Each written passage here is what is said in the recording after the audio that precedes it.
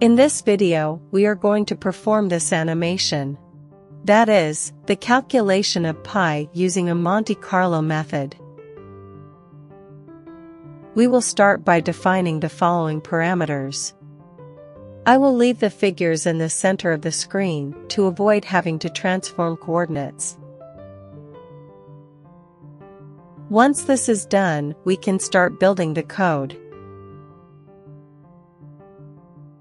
I will define a counter, which will increment when a point is positioned inside the circumference.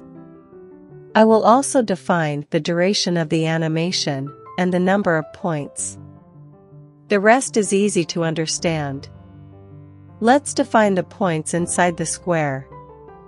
We can use the uniform function from the random package. I will define a parameter called encircle that we will modify in the following function.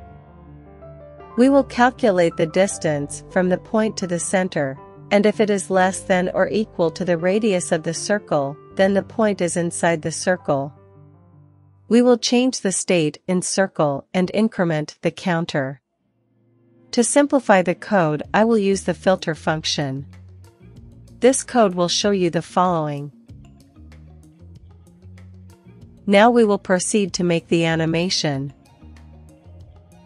We are going to use this function that I also used in my intermediate Manim course, when we learned how to process audio.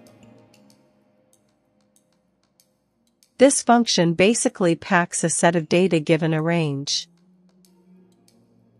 In this case, we are going to ignore the excess values using the ignore argument.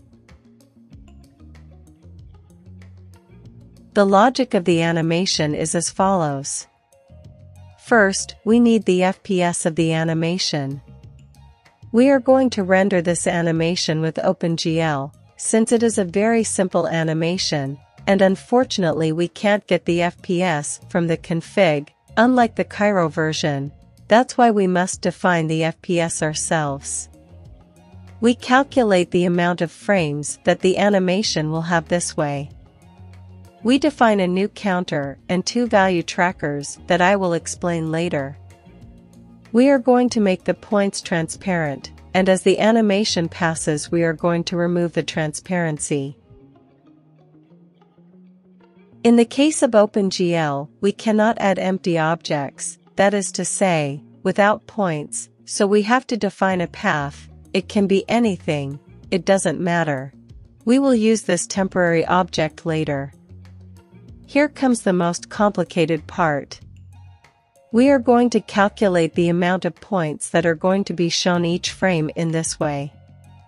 Then, using the grouper function, we are going to pack the points using the previously calculated variable. And then we define the number of packets that were calculated. Now, it is possible that some dots were not added to dots packed, that is, they were left over. So we have to calculate the leftover dots in this way. And at the end we add those leftover dots to dots packed. This way we make sure that dots packed has all the dots. Now we define the function update dots, which is going to be an alpha updater animation. Now, the purpose of the variable count is to indicate the corresponding index of data packed. That is, at the end of the animation, the variable count and the variable total frames will be equal.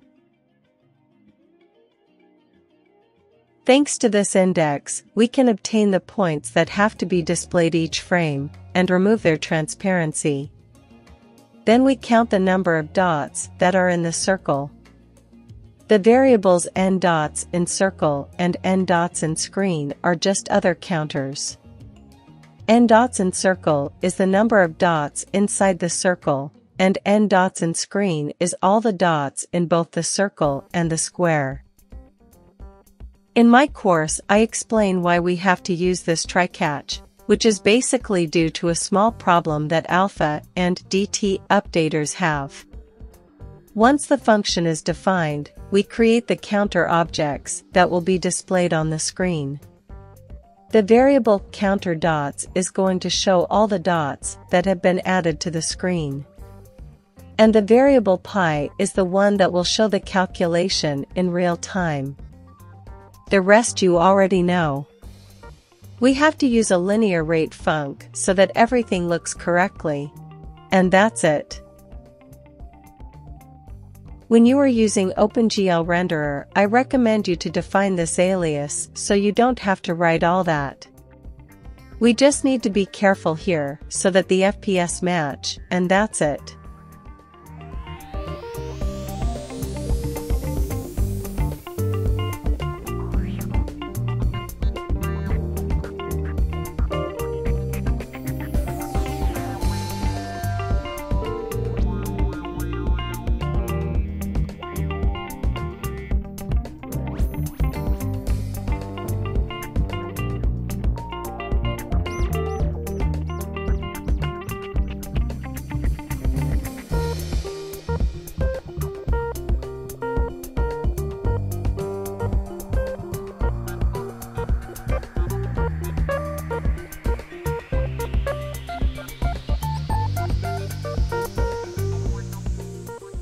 We see that everything works correctly. And indeed the values are close to pi. I'll leave the code for this scene in the video description. If you want to learn how to use Manim, you can enroll in my Manim Basic and Intermediate courses. You can buy both courses for $50. And if you already have the basics, you can expand your knowledge with the intermediate course for only $30 using the coupon you see on the screen. This coupon is only valid for this month, and the courses have a 30 days guarantee. There is no other online course at the same level, and dozens of solved exercises are included for you to practice. See you in the next line of code.